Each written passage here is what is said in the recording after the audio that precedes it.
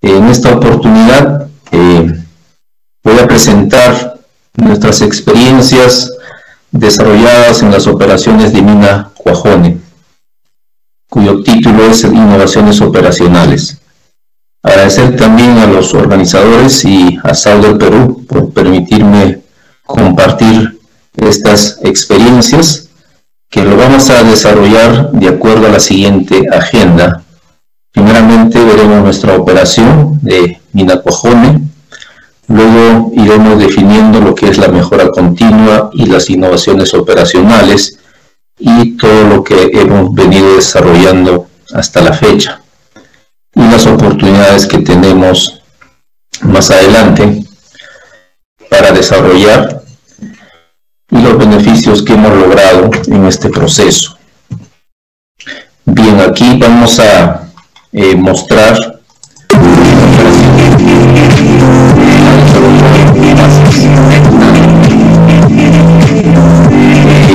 nuestra operación data ya del año 1976, una operación continua. Como bien saben, eh, la mina se encuentra ubicada al sur del Perú, en el departamento de Moqueo, eh, estamos en una elevación del 29.50 al 38.50 metros sobre el nivel del mar. Eh, nuestra principal producción es el cobre y moli. Como reservas tenemos nosotros para producir de aquí hasta el fin de la mina a unos 50 a 60 años más al mismo ritmo de producción que tenemos en nuestra operación. Nuestros planes de minado para el 2022 son un movimiento de material de 391 mil toneladas por día o 143 millones de toneladas en el año. Ahí podemos visualizar también los depósitos de desmonte que disponemos y las distintas fases de minado que actualmente tenemos. Como bien saben también, este, el Estado del Perú pertenece al Grupo México, en la parte minería. En esta oportunidad vamos a ver exclusivamente lo que es mina Guajón. Bien, como les anticipé, innovación operacional es ya parte de nosotros aquí en Cuajone, pues nuestros, nuestras metas no se pueden lograr por métodos convencionales. Entonces ahí nace pues lo que es la innovación operacional, el proceso en el cual a partir de una idea, de una invención o reconocimiento a una necesidad se cambian las formas de operar normalmente y logramos resultados extraordinarios. Aquí en la gráfica podemos visualizar eh, cuán diferente es una mejora continua con la innovación operacional. La innovación operacional pues nos da resultados extraordinarios, ¿no? La mejora continua sí hay cambios, pero son de menor este, magnitud. Bien, definido la mejora continua por Michel Hammer, donde también hace referencia de que en nuestras operaciones actualmente en marcha se encaminan pues una mejora continua en la reducción de errores, minimización de costos y optimización de los tiempos y la metodología en sí se mantiene, pero mejorada. Podemos visualizar aquí también la implementación de una mejora, es una escalera revertible que lo hemos incorporado en nuestra flota de acarreo estos últimos años, ante una necesidad identificada. La evolución también eh, constante de las capacidades de las palas y volquetes data pues desde que se inició la operación. Desde el año 70 iniciamos con equipos de carguillo de muy bajo tonelaje y también la flota de acarreo. Luego para ir de a pocos incrementando las capacidades de, la flota de acarreo y la flota de carguillo, eh, sumando a esto también los proveedores, que ellos también se han estado alineando a nuestras necesidades. Podemos ver en esta línea de tiempo, hemos pasado a operar volquetes de 218 toneladas métricas y actualmente ya estamos con volquetes de 366 toneladas métricas, convertido a toneladas cortas son las volquetes de 400 toneladas. Lógicamente, para estos volquetes necesitamos equipos de mayor tonelaje carguero, que son las palas de 400 yardas cúbicas. Aquí podemos ver una referencia, una fotografía histórica, cómo nosotros hemos ido avanzando con mejoras continuas permanentes, ¿no? Dentro de este proceso hemos tenido el carril palatren, bueno, pala volquete ya con equipos de mayor tonelaje, y a la fecha, como pueden visualizar aquí, los, los beneficios o los resultados que hemos obtenido del hecho de eh, incrementar nuestras capacidades. ¿no? La productividad horaria actualmente de una flota de, de palas de 74 yardas cúbicas se oscila entre 4.932 toneladas por hora, hasta más, ¿no? Eso mucho depende ya de, la, de las prioridades que podemos incorporar a la flota. Aquí podemos eh, mostrarle el equipo de, perforación que tenemos, perdón, de carguillo. Tenemos palas eléctricas de, dos proveedores principales que son PIH, que ahora es Komatsu, o las Buceiros, que ahora ya lo ha absorbido eh, la empresa Caterpillar. Igualmente los cargadores frontales y nuestra flota de acarreo. Últimamente estamos con dos volquetes de, de 400 toneladas cortas en prueba, un modelo, bueno, de la fábrica Caterpillar de 798, modelo 798AC. Bien, aunado a esto, también se ha ido evolucionando o migrando a vías de acarreo. Las vías de acarreo también le hemos tenido que mejorar o incrementar a nuestras necesidades. Teníamos anteriormente vías de acarreo de 30 a 35 metros de ancho. Actualmente ya nuestros diseños contemplan vías de acarreo de 40 metros como diseño para eh, que recorran nuestra flota de acarreo.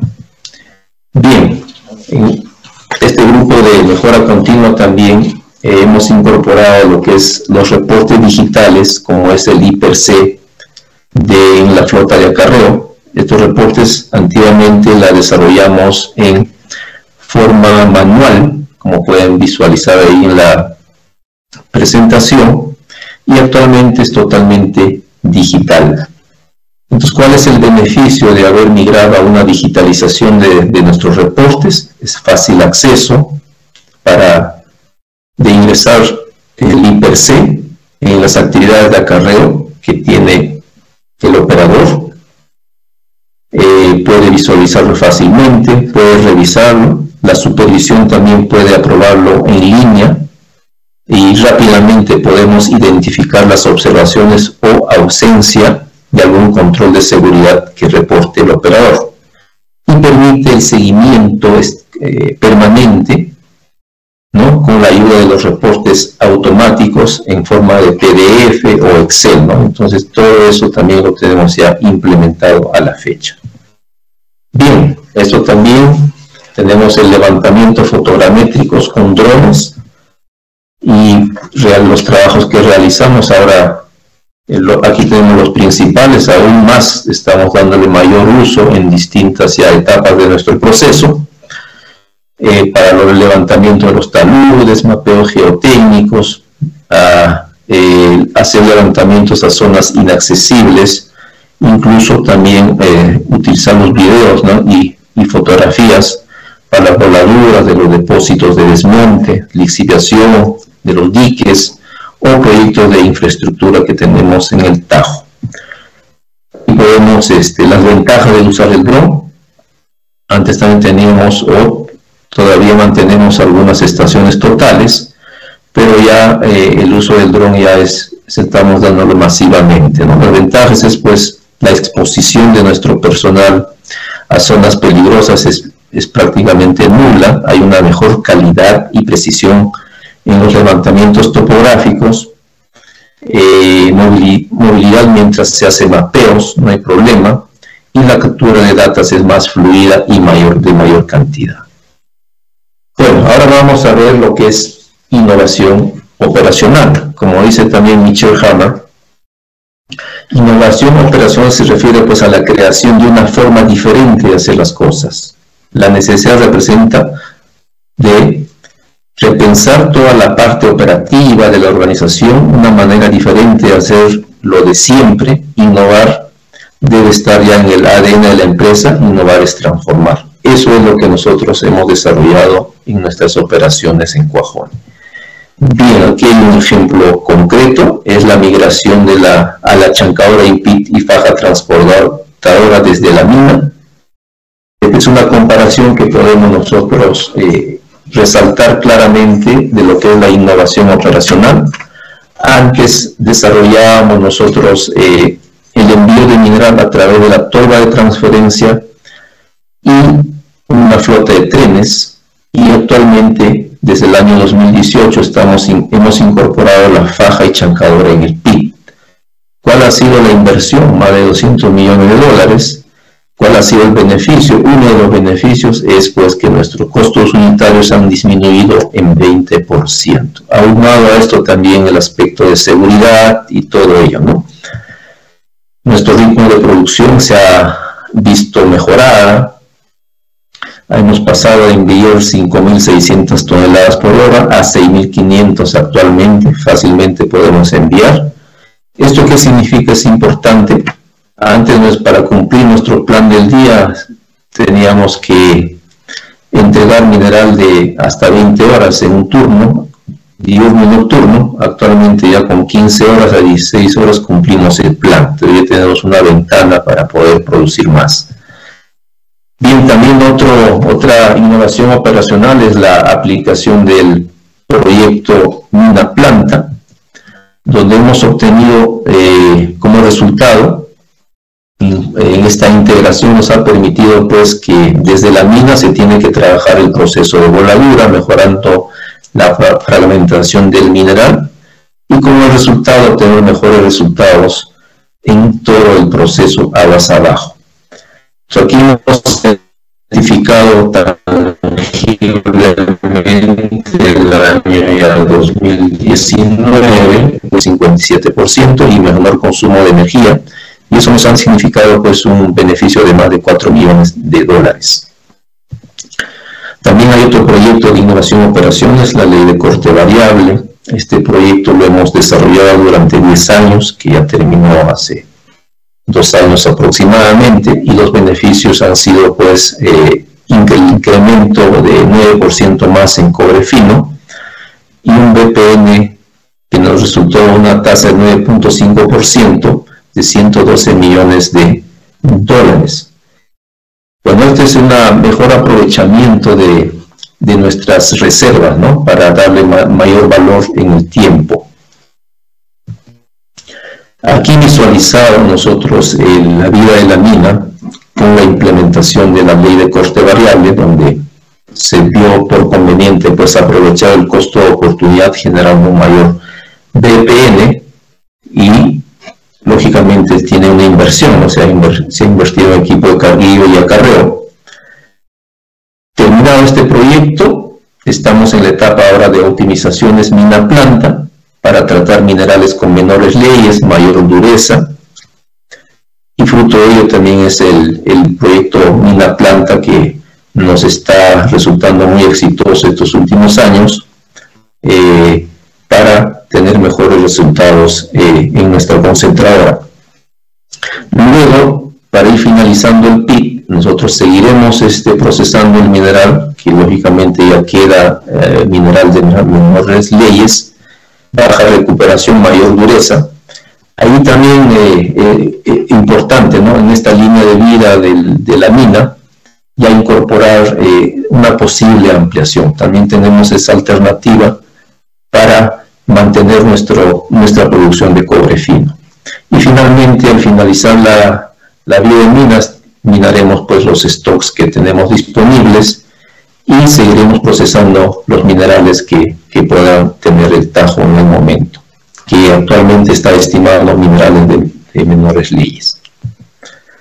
Bueno, también la implementación del sistema de gestión de flota, Nosotros eh, ya lo tenemos este, incorporado ya desde el año 2018, 1998. Eso nos ha permitido pues este, mejorar nuestros, nuestros controles. Le hemos migrado desde hacer reportes digitales, perdón, reportes manuales a constant, ahora hacer los reportes digitales. Ahora ya es un estándar a nivel mundial, ¿no? En todas las operaciones mineras, pero una de las primeras la hemos desarrollado aquí en Cuajone.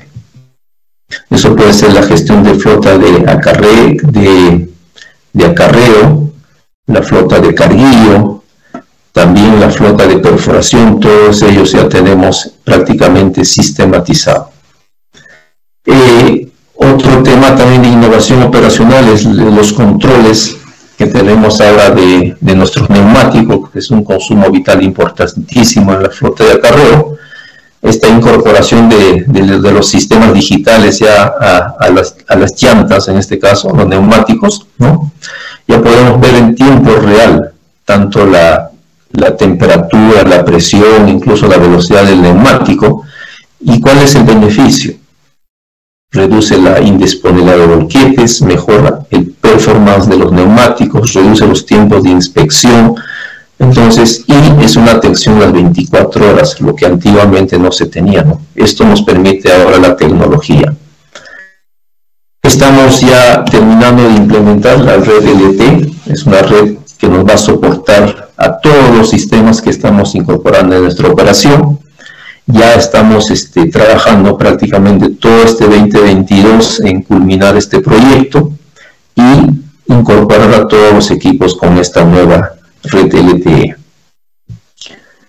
El sistema de gestión de fatiga, que también ha sido muy importante, que es el sistema eh, de control de fatiga, pues es el sistema automático que se basa en el análisis facial de nuestros operadores, en base a las imágenes en tiempo real detecta el efecto de distracción y somnolencia. ¿Para qué sirve? Su principal objetivo es reducción de accidentes relacionados a la somnolencia y a la distracción.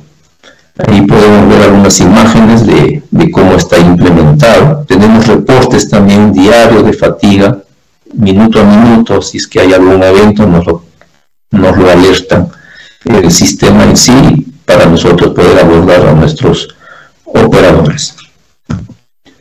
¿Cuáles son las oportunidades ahora que tenemos?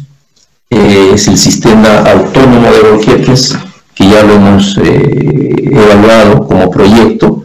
Estamos también ahí de tener una flota eh, tripulada y autónoma, un mix para nuestra operación, dado que esta operación ya tiene más de 40 años, entonces convertirlo a 100% autónomo todavía la tecnología no, no es posible, pero sí podemos migrar parcialmente.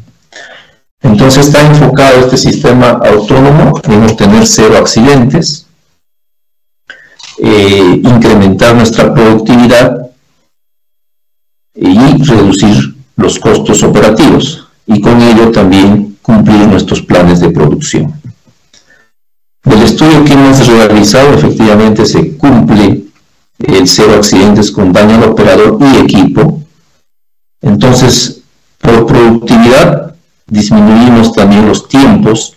Eso hace que se incremente la productividad. Por ejemplo, 2.5 horas de demoras por flota tripulada. La flota tripulada se demora más, 2.5 horas más. La flota autónoma es 0.8 horas. Entonces, todavía Ahí hay un beneficio de 1.7 horas que ganamos de utilización de la flota por día. Entonces estos avances tecnológicos pues, nos, nos permiten reducir los costos, ahorrar combustibles, menor gasto de neumáticos y de hecho sumado a todo esto también de componentes. Esta flota autónoma no, no trabaja sola, implementarlo o trabajar con la flota va a significar pues que tengamos nosotros eh, personal más calificado en distintas áreas o con otras habilidades como es eh, mayor demanda de ingenieros electrónicos, eléctricos, mecánicos electrónicos, ¿no? mecatrónicos que ya actualmente se llaman, eh, utilizar la Big Data ya como una herramienta importante para todo este proceso, incluso estar preparado para, para un posible falla de todo el sistema, o también incorporar la inteligencia artificial ya de inmediato. Los beneficios que nosotros eh, hemos eh, identificado, demostrado y, confirmado con la innovación operacional es desde el punto estratégico, ¿no? Nos permite tener una capacidad para ejecutar nuevas estrategias, capacidad para incrementar el envío de mineral que, se les, que hemos mostrado y darle sostenibilidad a los planes de producción durante la vida de mina. Desde el punto de vista de la integración, menores costos, cumplimiento del plan de producción, que es importantísimo, información disponible entre mina y planta, mejores relaciones con todo el personal, porque estamos muy familiarizados con la información y respuestas inmediatas. Desde el punto de vista de operaciones, mayor valor agregado a las reservas, menores costos directos, mayor uso de los activos, todos los equipos de mina, principalmente, menor tiempo de ciclo de producción, mayor precisión y simplificación de procesos. Entonces la innovación operacional en Mina Coajones nos garantiza la sostenibilidad de, de la vida en mina y es parte de nuestro ADN, siendo nuestra guía para continuar desarrollándonos. La innovación operacional ha conseguido que seamos ágiles en las distintas actividades del proceso productivo y nos adaptemos fácilmente al entorno competitivo. Cada innovación operacional realizada en Mina Cojona es imitable. Bajo esta realidad, la innovación operacional llegará a tomar parte, de, parte en la filosofía de las distintas empresas mineras.